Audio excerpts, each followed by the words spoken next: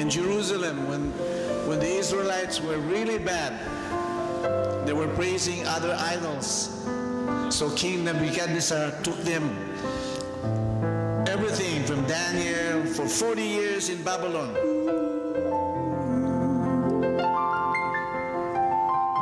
They never learned their lessons, yeah, they keep on complaining and praising idols. But after 40 years, God told Jeremiah, For I know the plans I have for you, Jeremiah, for all the Israelites in Jerusalem and Judah, plans to not harm them but prosper them, and plans to give them hope in the future. Let's sing the song. For I know the plans I have for you. Sing with me. He declares the Lord plans to prosper and not to harm you. Sing with me, church. For I know the plans I have for you, declares the Lord. Plans to give you and a future.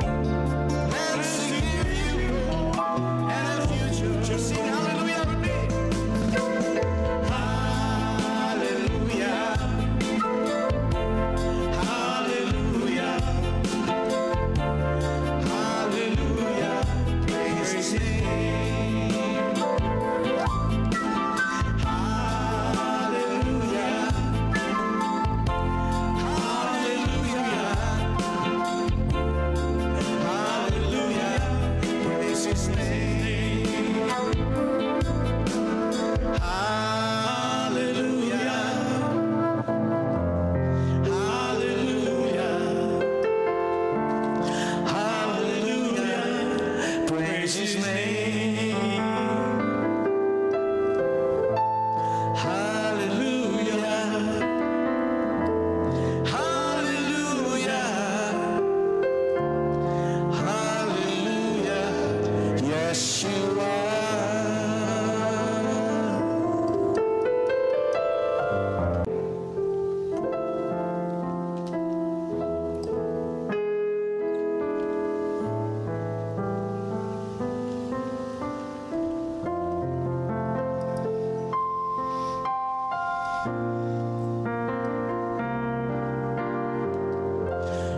Romans says, uh, 1 6 says that he who began a good work in you, the Lord will complete it.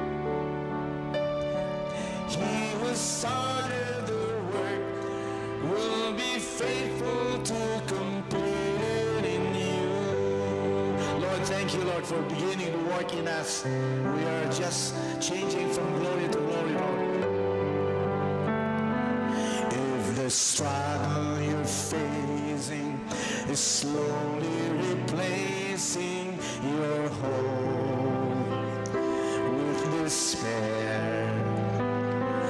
All the process is slow and you're losing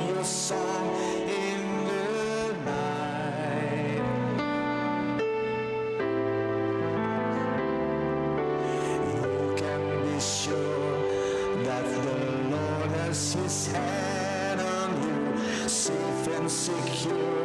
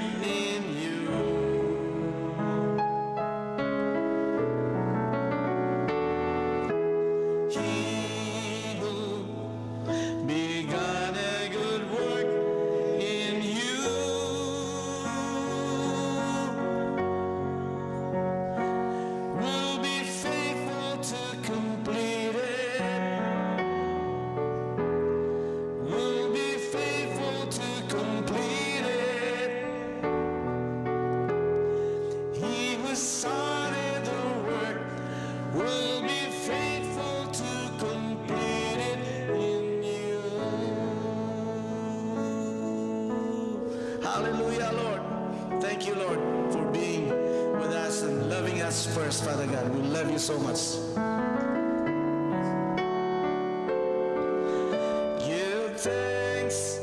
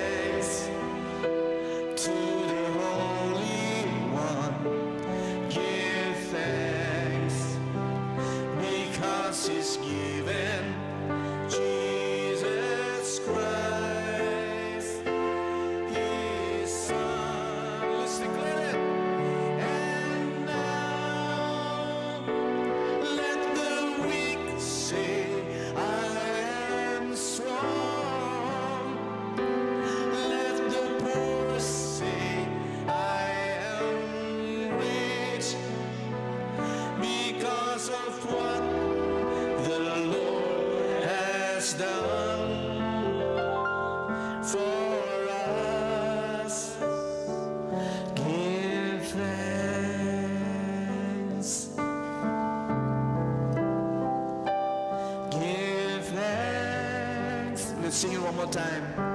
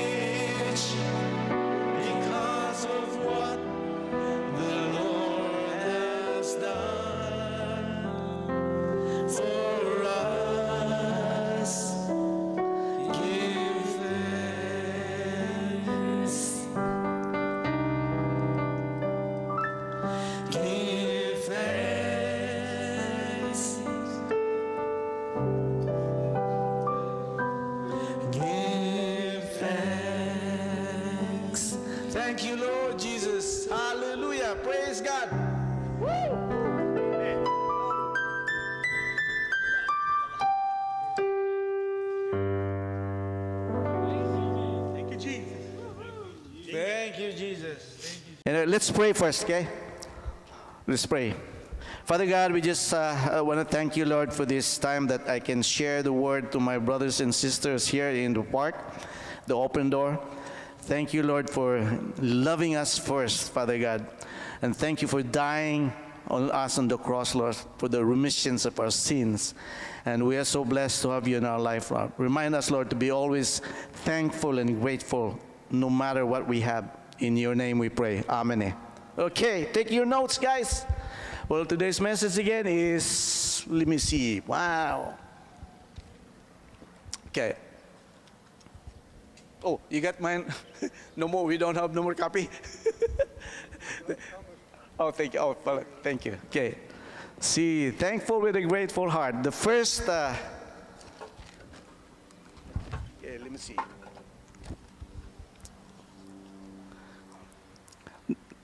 The first verse you are put in is now Psalms 92, 1 to 5. Let's uh, read this together, okay? Ready? Go.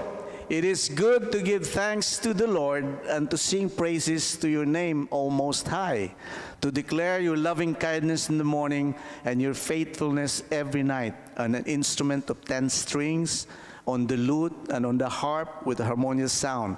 For you, Lord, have made me glad through your work. I will triumph in the works of your hands. O Lord, how great are your works! Your thoughts are very deep.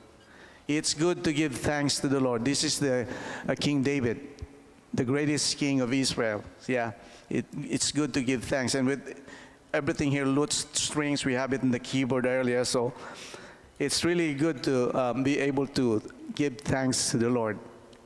Everything. Uh, let me uh, take you back in Israel in the olden times, the, the time when they were um, bondage, when they were walking in the wilderness. Yeah, in Israel, uh, God took them out of Egypt from Mount Sinai, of course. Moses was given the Ten Commandments in Mount Sinai.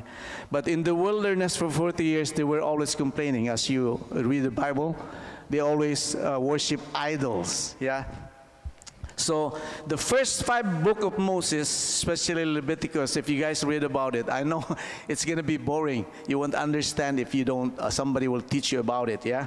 But in that in that uh, Leviticus, Moses specifically have uh, instruction for the Israelites, yeah, in detailed uh, description and warnings if they violated them. So God uses sacrifices at that time when they were in the wilderness, like offerings and thanksgiving and the laws he gave, again, the Ten Commandments, yeah, in order to teach them, right? And so one of the things he wanted to teach them was being thankful and grateful being thankful and grateful. So what did they do? They offered thanksgiving sacrifices every morning and every evening. So he wanted them to be reminded that he was God and that they have to honor him as God, right? And then that they were to depend upon him because he was the source of what they had and everything they do. Yeah, God has a specific reason for that thanksgiving sacrifice. Let's see what the psalmist uh, um, uh, wrote here. It's, I think it's in your notes, yeah? Um, Psalms 50, 23. Let's read it together. Those who sacrifice thanksgiving offerings honors me, and to the blameless I will show my salvation. See that? Those who sacrifice offerings honors him as the God. So thankful hearts still honors God. Yeah? When you say thank you, Jesus, thank you, thank you, Lord, praise and thank you, what we do is honoring Him as our Lord. Amen? You're honoring Him as the source of all our blessings. Praise God from whom all what? Blessings flow, right? So we must honor God all the time. No need to have that sacrifice anymore right now. We don't need to kill or something, you know. It's not, uh, that wasn't the olden times. Right now, you can just honor God sit down, kneel, pray in your own room, or there's no rule for praying when you give uh, God the glory and thanking Him. Okay, I'm going to give you five things that we should be thankful and grateful. It's in your notes. The first bullet there is we should be thankful and grateful that our eternal destination is secure. Do you know where that is? Our eternal destination is secure up in heaven, right?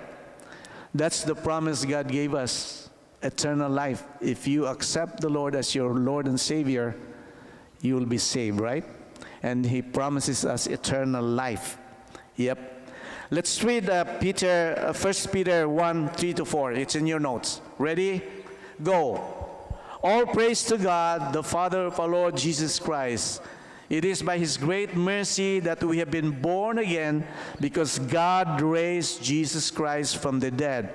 Now we live with great expectation and we have a priceless inheritance, an inheritance that is kept in heaven for you, pure and undefiled beyond the reach of chains and decay. This is the place, this is the mansion. Remember in the uh, books of Acts when Thomas asked Jesus, I preached that last month, about uh, I am the way, the truth, and the life, Thomas asked Jesus, Lord, where are you going? And uh, uh, Jesus answered Thomas, I am the way, the truth, and the life. No one comes to the Father except through me. So there's a mansion waiting for you guys there. This is where we are going to go. We are secured in this place. Amen. This is eternal life. This is heaven. This is sitting at the right hand of God. Amen. So that's eternal life, our final destination. Amen. So I am so now eternal life is not a matter of chance. Believe you me. You gotta accept Lord first as your Savior. Amen. ABCs of life. You have to accept that you're a sinner. And B, you have to accept that Lord is Lord, Jesus is Lord. And the, all, all, all of us have sinned and fallen short of the glory of God. Matthew 6.23. Matthew 3.23 is the one that, uh, you know, you have to accept as as a sinner. And then when you receive Jesus Christ, you will follow him all the way and he'll give you eternal life. Amen? So eternal life is not a matter of chance. It is a matter of choice, you guys. If anybody here who don't want to, or who want to follow Jesus Christ, maybe I could try uh, pray a little bit, sinners. Pastor Ben is good at that. I'll just make a short one later.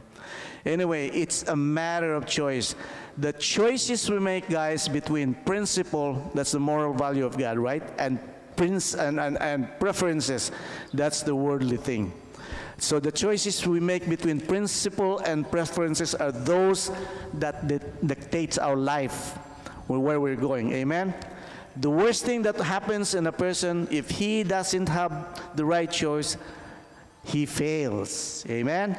And that person probably has no faith at all. My goodness, that's sad. If you have no faith at all, you have no personal relationship with God. I hope you have the supernatural uh, relationship with God right now. It is with this great mercy and the love of Christ that we are thankful and when we walk with Him. Amen. As believers, I hope you all guys are all believers. I know most of you, I can see you believers. As believers of Christ, we are secured where we are going. Where we are going? Heaven, eternal life, right? Yes, that is with well with the Lord someday. And look at lamentation I, you, you, don't have that in your uh, um, in your notes lamentations 3.23 it's about the faithfulness of god that god have, Uh, the lord has mercies that is never consumed for us he have great mercy in us because his compassion never fails it's always good in the morning great is thy faithfulness. That's Lamentations 3 22 to 23. Anyways, by the way, the next one bullet will be number two be thankful that we have a purpose for living. Guys, what's your purpose in this life? God matters a lot. Yeah? Each one of us has a gift, I believe. Each one of us has a purpose in this life. Yeah, for for the here, look at the what Paul says in Ephesians 2:10. For we are His workmanship, created in Christ for good works. Amen. Which God prepared beforehand that we should walk in them. So, guys, this is open door. The door is open to everybody here, not only you guys here, even the tourists come come and see. We have a website. I hope the people watching us and when, when Mr. Uh, Jimmy always uh, good in putting us the website, you know, uh, messages.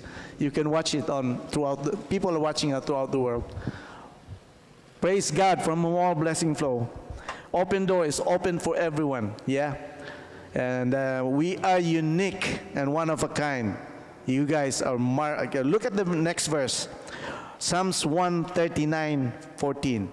I will praise you for I am fearfully and wonderfully made. Marvelous are your works, and that my soul knows very well. See, the Lord knows our hairs, the numbers of our hairs. Even before we were born, I think the Lord knows where we are. So I'm, we are predestined, each one of us. It's never an accident and you guys sitting down here. It's the Lord's will. It's it, what we call, you know, a divine proclamation, appointment. I can even follow myself talking to you and sharing the word right now. I don't know. My, my parents was, I'm so blessed my parents brought me up in church when I was young, so I can imagine now that, hey, this is what it is. There's no turning point back, yeah? We have, are you guys decided? We have decided to follow Jesus. Can you sing with me? We have decided to follow Jesus. Come on, sing, guys. We have decided to follow Jesus. No turning back, no turning back. Sim- believe you me, guys, no turning back for me. Every day, uh, whenever I open my eyes, I always give thanks to the Lord. That's why I love this message. Be thankful with a grateful heart. Whatever you have, we don't need money. Can we bring money in our grave? Well, i i we could buy something, but you know, money should be able to be used for to bless other people. Yeah, praise God. Okay, so next one here is uh, where we? Uh, let me see. Okay, we're done with uh, praise. Okay, the next one you have been created. Okay, there. This listen to this. You have been created to make a kingdom contribution, each one of you. Each one of us has about one to probably five, ten gifts that you can use for the kingdom of God. Amen. Do you you got to believe that, you know, present yourself a living sacrifice to God. You have a purpose for living. Amen. When we thank him, it motivates us to look for his purposes in everything that he allows in our life. We are part of the body of Christ. Open door, you guys. You're very very much welcome here. Open door is again open to everybody. His spirit is in us and he wants us to prosper, not harm us. The song the song I sang, Jeremiah 29:11. Yeah, he's always giving us hope and future. And one of our purposes is to share this hope and blessing to the people around us. Amen. That's our purpose for living, guys. Evangelize and share the gospel to your family, to your friends, and to your acquaintance. I'm a Gideon, by the way. I've been Gideon for almost six years now. We're distributing Bibles to the elementary schools, and I have Bibles right now. If you don't have Bible, I can give you after the, the message, yeah, if you want. Look at this verse here. Uh, uh, I think it's about God prepares us for this, and He gave us word for us to use it to share the goodness. And we'll go to num- uh, bullet number three now.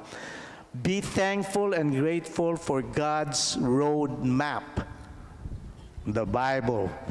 This one. This is my American Express, you know. I never leave home without it. I have one in my car, I have one in my home.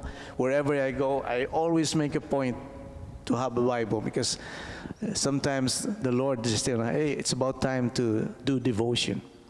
Devotion is very important, guys. You have to be thankful in order to talk to God. Prayer is the way how to talk to God. It's a two-way street when you pray.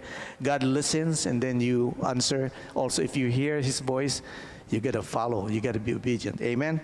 So, basic instruction before leaving earth. Bible. B I B L E. Basic instruction before leaving earth. Yep.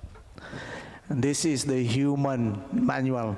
When you buy a car, you have the owner's manual. When you buy a refrigerator, you have owner's manual. How about our life? This is our manual, guys. From Genesis to Revelation. 29 books in the Old Testament, 36 in the New Testament. Yep. So, look at this. Another word by the King David.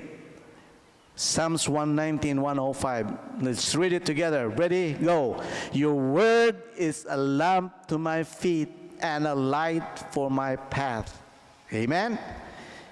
It is that when you accepted the Lord as your Savior, you start to know Him. When you constantly read the Bible, amen? Understand it, not just reading. We got to understand. If you don't understand it, I remember when I was young in the Philippines, my, my dad said, Oh, you're reading the Bible. How would you understand it? It's English.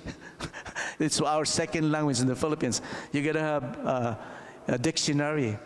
Lo and behold, right now I have all my I have four books in shelves in my home music, business, health, and my office is always the Lord.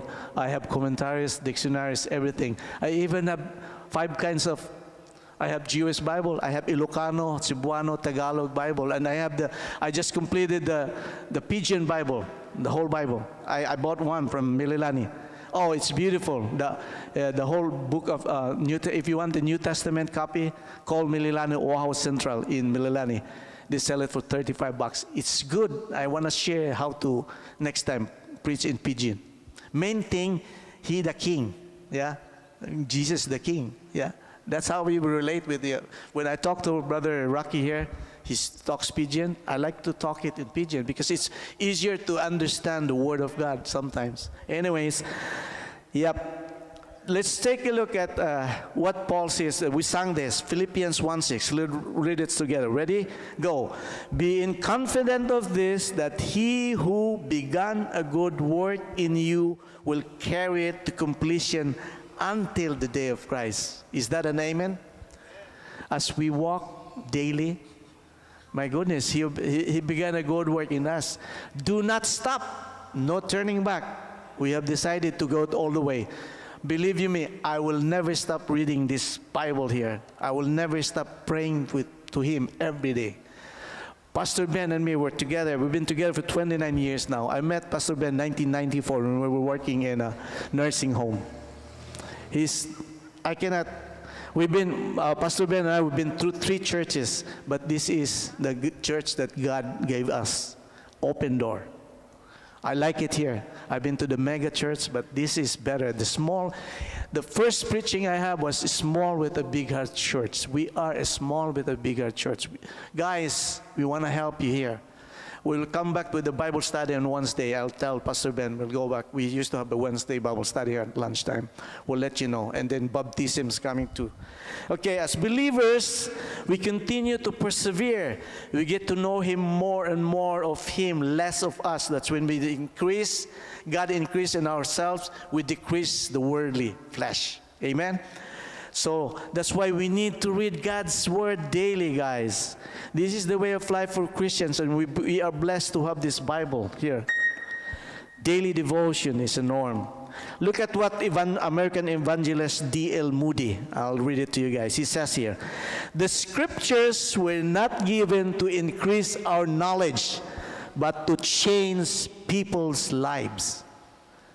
Do you know how many millions of people uh, Billy Graham, evangelist, saved?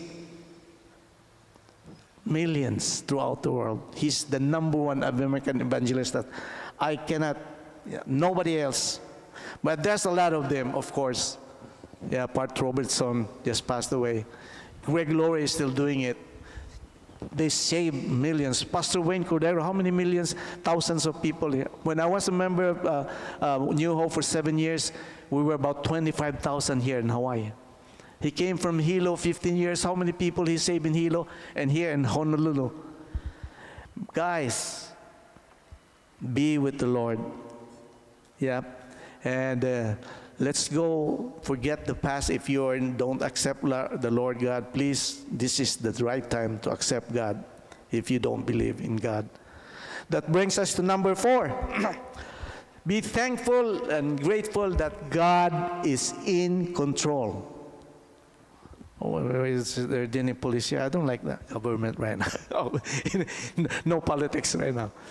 Be thankful and grateful that God is in control. What I'm trying to say, there's chaos going on. Ukraine, Russia, China is trying to take Taiwan, whatever, the Korea, and the government. And I think I've heard they want to put, again, the COVID back. That's crazy, yeah? God is in control. Look at what Isaiah says here. Isaiah 59, 55, 9. For as the heavens are higher than the earth, so are my ways higher than your ways and my thoughts than your thoughts. We must not view God through our difficulties. And again, I'm, I'm telling you, I'm a Republican. I'm not a Democrat, sorry. We must not view God through our difficulties, right? What's going on around now. We must view our difficulties through God. Amen? I know, I could assume that you and guys, we have some, in, in our lives, we have to fix some things on ourselves. You know, we're not perfect. We're sinners. We stumble. The devil is getting us sometimes. If you, if you love the Lord more, the devil gets in your back. Do you, uh, do you, know, do you believe in that? It happens to me, my wife and me. Sometimes he knows who our weaknesses, so he goes there. So, but don't give up. Resist, yeah? Submit to God, resist the devil, and the devil will flee away. Amen? Amen. Amen. So, and we all know, look at this, Romans 8 28. This is so beautiful. I like this. Uh, you know this by heart. And we all know that in all things God works for, though, for the good of those who love Him, who have been, again, called according to His purpose. Remember, number two is we have a purpose in this life. God called us each one to be out there and share the gospel. Amen. Yeah. His mercy is brand new. I told you about Lamentations 3 22 to 23. His mercy is brand new every morning. When you wake up, Lord, ah, great is thy faithfulness. Now, uh, maybe the best thing you can ask is, Lord, what can I do to make a difference today? Who can I share the gospel today? Who is going to be the first person I'm going to share with? Amen? So, the highest rewards for a person's trial is not what they get for it, but what they become from it. This is from John Ruskin. He's an English writer and philosopher. Let me say it again. The highest rewards for a person's trials in his life is not what they get for it, but what they become it. Meaning to say, we are disciplined. We, we made mistakes and we perfect it. Yeah what, what you become of it. Yeah? Okay, when God answers our prayers, we do rejoice, and what we shout, praise the Lord. Where's my brother Millie? Always shouts, praise the Lord. Praise the Lord. God is good. All the time. Yes, all the time. God is good. And again, I'm I'm finishing up. We're on the bullet number five. Uh, but remember, guys, God is in control no matter what. If, if, whether it's when your prosperity, you should, He's always in control. Even in diversity, He's in control because He can turn around. There's no such thing as, I have a book by Pat Robertson, When God Doesn't Make Sense. No. God makes sense all the time. Because if there's something wrong, wrong going on, He's going to turn that around and make it right. Amen? Okay, the last bullet, lastly, Let's be thankful and grateful that God accepts us just the way you are. Ooh, this sounds so familiar to me. Yeah, I know, but that's Billy Joel. Just the way. How about uh, how about Bruno Mars? Uh, yeah, amazing, just the way you are. The two songs by, but no, God again open doors to anybody no matter what's your situation in life, God accepts you who you are. Amen? There's no exceptions in God. When He opens the door for you, you gotta open, you knock on the door and open it up, and if you receive His voice, He'll dine with you. Revelations 20. I stand up knocking the door, and then when you open, God will open. When you open the door and God is there, you better accept it, or else Somebody will. The crafty guy, the, sat- the Satanas, the Satan. The Lord does not look at the things man looks at. Yeah? The Lord does not look at that man looks at. Man looks at the outward appearance, but what that God looks at? The Lord looks at the heart. That's 1 Samuel 16 7. You guys, again, as I told you, we are all sinners, but if we are sinners, if you have a repentant heart, you're going to be okay. Acts 3:19 says, "Repent and times of uh, so that your sins will be wiped away and times of refreshing comes from the Lord." Amen. That's Acts 3:19. So wrapping up now. Whatever your situation in life, now whether you're in prosperity again or in diversity, the Lord God is waiting for you guys. If you haven't accepted Christ as your Lord and Savior, the right time is now. Amen? The right time is now. Can you please raise your hands who accepted God here? Can I see? Everybody, everybody should have accepted God. Come on. Praise God from home. Praise God. If you are not, I'll try pray a little prayer for you, okay? Now, accepted, okay? Here, God's process of accept, acceptance happens not just once. It's daily. If you don't accept today, maybe tomorrow, maybe today. But why would wait tomorrow when it's too late already for you? What if the tsunami comes or the, the, the you know, the the fire in the sky comes. Like the, the rocket man, the crazy rocket man from uh, Korea, he's tried to shoot us, but halfway. Have, if you have seen the movie, What Would You Do If You Have 10 Minutes of Your Life? That was real. It was uh, shown here. the 10 minutes was the 10 minutes, what would you do if? Because that movie showed that the missiles really got in Hawaii. And a lot of people repented. You guys gotta see that. What would you do if you have 10 minutes of your life when the missiles come here? Because, guys, World War III is no more. Boom, boom, like this. It's fire in the sky, the submarine, the mountains, the aircraft, the airplane. It's all missiles, fire in the sky. If you read Revelation, that's the end of times, the prophecy. If the, this world get crazy, World War III, China, Russia, Ukraine, Iran, the Middle East, ganging on Jerusalem and us, the allies. Anyways, let's finish up. Bottom verse. Oh, wait, let me see. God's arms are wide open daily, just as told you. God's process of acceptance happens not just once, but daily. And then God's arms are wide open daily. Just say, Lord, here I am, your servant. Choose me him to be the Lord of your life. He will never forsake you or leave you. Do you believe that, guys? God will never leave, forsake us, or leave us. It is a good thing to delight in the Lord, but how much more endurable like life is when we realize that the Lord delights in us, and we should be very thankful and grateful. Amen. Bottom verse. Let's read it. But we are bound to give thanks to God always. Brothers, beloved by the Lord, because God from the beginning chose you for salvation through sanctification by the Spirit and belief in the truth. Amen. Amen. So that's Second Thessalonians 2:13. So be thankful and grateful to God gives us continuous awareness that we are walking in his presence, which contributes to living a godly life. Amen.